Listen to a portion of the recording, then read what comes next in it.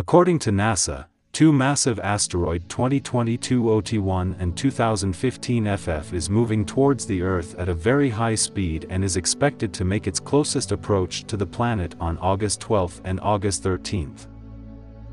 On August 12, asteroid 2015 FF, NEO, will be passing our planet Earth. At its closest, the asteroid 2015 FF will be at 4,280,000 kilometers from Earth at a speed of 9 kilometers per second.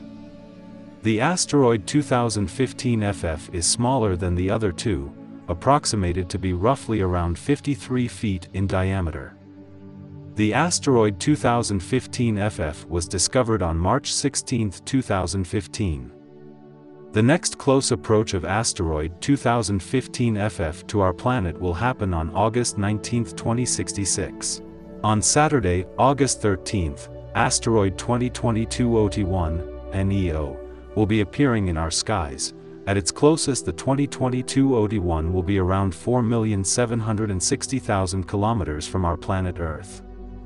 2022 OT1 is also the second biggest asteroid to approach our planet this week, at 110 feet it is equal in size to the largest blue whale ever found on Earth.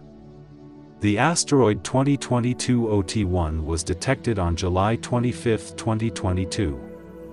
This near-Earth object belongs to the Apollo group.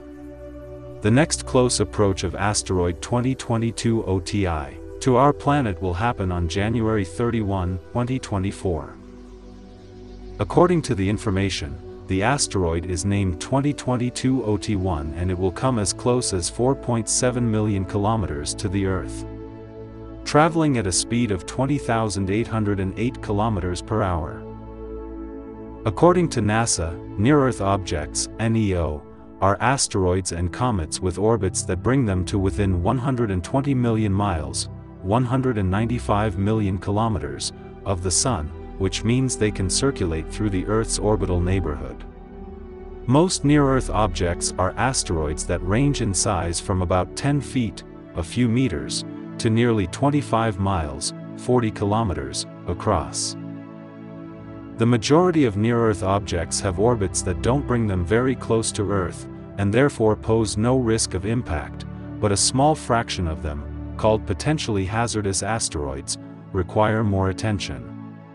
These objects are defined as asteroids that are more than about 460 feet, 140 meters, in size with orbits that bring them as close as 7.5 million kilometers of Earth's orbit around the Sun.